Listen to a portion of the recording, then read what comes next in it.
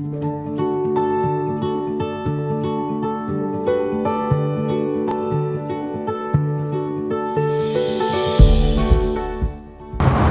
I'm Colin Hughes with Des and Colin Hughes Estates. Welcome to our newest luxury listing at 12758 West Berghan Street in Boise.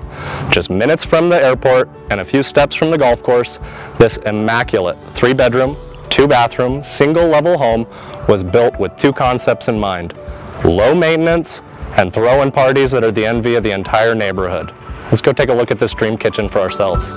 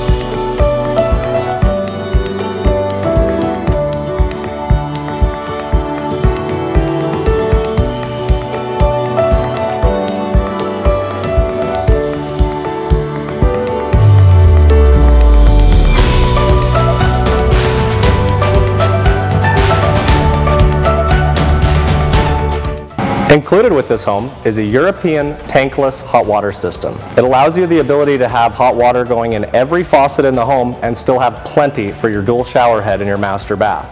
Before any water enters the house, it first goes through this charcoal filtration system, then into the water softener, then it will be heated by this tankless system.